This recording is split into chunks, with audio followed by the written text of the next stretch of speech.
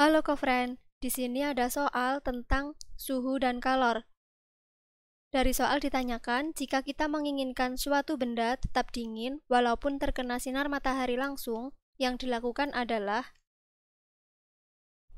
Pertama, perlu kita ingat benda gelap memiliki emisivitas mendekati satu, di mana benda yang memiliki emisivitas mendekati satu merupakan penyerap dan pemancar kalor yang baik dan benda yang berwarna terang memiliki emisivitas mendekati nol, di mana benda dengan emisivitas mendekati nol merupakan penyerap dan pemancar kalor yang buruk.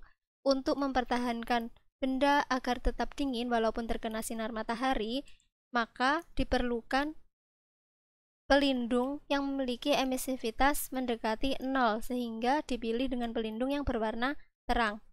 Untuk pilihan yang pertama, kita lihat yaitu meletakkan benda di dalam sebuah kantong kertas coklat. Kertas coklat termasuk benda gelap, sehingga dia bukan pelindung yang baik. Kemudian membungkus benda dalam kertas hitam. Ini jelas bukan penyerap dan pemancar kalor yang buruk.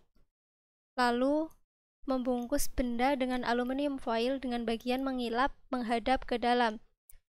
E, benar menggunakan aluminium foil tapi arahnya yang salah karena kalor berasal dari luar, harusnya aluminium foil dihadapkan keluar.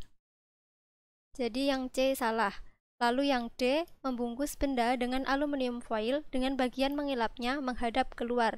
Nah, pilihan D ini benar karena bagian aluminium foil dapat tidak dapat menyerap dan memancarkan kalor dengan baik sehingga dia dapat mempertahankan benda tetap dingin walaupun terkena sinar matahari secara langsung, sehingga jawaban yang benar adalah D. Sekian pembahasan soal kali ini, sampai jumpa pada soal berikutnya.